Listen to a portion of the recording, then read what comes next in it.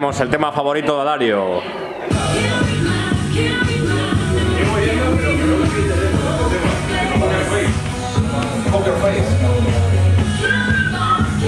¿Por qué te gusta Lady Gaga, Dario? No sé. Dice que por ahí que es un tío.